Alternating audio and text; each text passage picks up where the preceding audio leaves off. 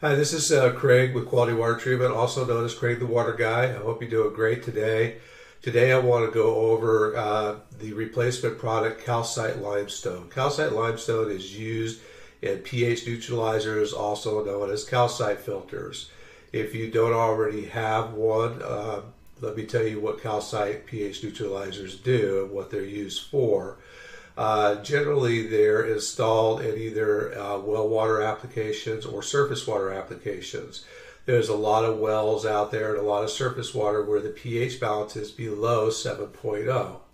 Uh, based on the pH scale, 7.0 is neutral, and below 7.0 is acidic. You don't want to run acidic water through the plumbing in your home because it's highly corrosive and it will eat up your plumbing and cause leaking over a period of time. If you have galvanized plumbing, it'll cause red staining uh, from the galvanized being bled out from the acidic water. If you have copper plumbing or any sort of uh, copper or brass fittings uh, in, within your PEX system, uh, it will bleed out the copper and the brass. The copper will actually bleed out a bluish green color around your drains. Uh, of course, that is also going to cause pitting and leaking over a period of time on that plumbing.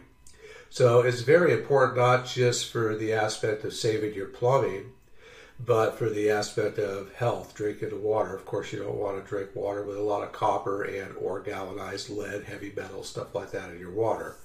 So you can eliminate all those issues by raising the pH uh, and protect your home and your investment. Um, the way the calcite filter works is you plumb it after your pressure tank, so the water runs through the calcite filter. As soon as that water contacts the calcite media inside that tank, it'll automatically raise the pH to 7.0 to 7.1, which is at the neutral stage. It regulates itself, so once it gets neutral, it will not uh, go any higher than that. It stops dissolving. Okay. For the average family of four, for household use only, you will go through one 50 pound bag here every six months. Um, if you're irrigating with it, of course, you're going to use more. The best way to check it um, is if you have an opaque tank, meaning that uh, you could put a flashlight or some sort of light up against the tank. You can actually see the levels, the shadows inside the tank. Once the tank is 50% full, you'll take exactly one 50 pound bag. Okay. Uh, but rule of thumb is is a family of four, household use only. Uh, you are going to take one 50 pound bag every six months. Okay, so uh, when you're adding the calcite, it's very easy to do. You simply uh, put your system in bypass, return the water off to it, put it into a backwash mode manually, and that will release the pressure off the tank and your plumbing. At that point, you disconnect the tank uh, by, uh, from your bypass valve from your plumbing, pull the tank away a little bit, use your hands and unscrew the control valve from the tank. Uh, you're going to use a small hose and uh, stick it in your tank and siphon some water out of the tank. Okay, so you have room to add the calcite without overflowing water all over the place. And then inside the tank, you're going to see a distributor tube, a PVC pipe in the center of that tank. What you're going to do is use some sort of cap, um, or what I'll do in most cases is I'll use uh, tape. Uh, and I'll, I'll put a small amount of tape over the top of that distributor tube. And then I'll use a, uh, a funnel of some sort and I'll add, I'll set it over the top of the tank and over the top of that tube and I'll add my calcite to where I have anywhere from 10 to 12 inches of what we call freeboard, which is the room between the calcite and the top of the tank.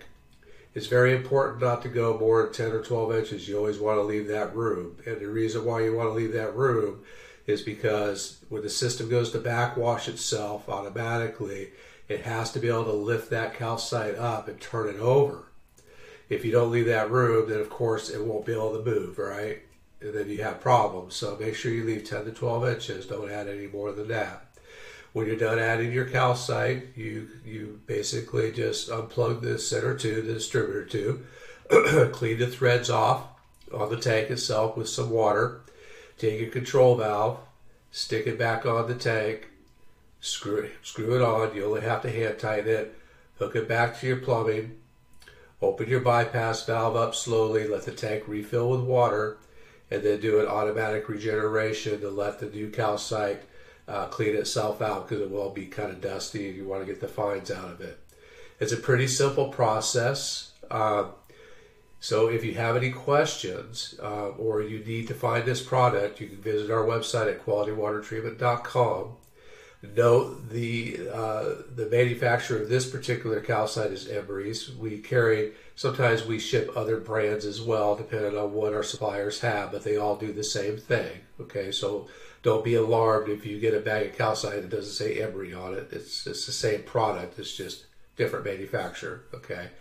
Um, you can also reach out to us on our toll free number on our website or shoot us an email or use our live chat if you have any questions.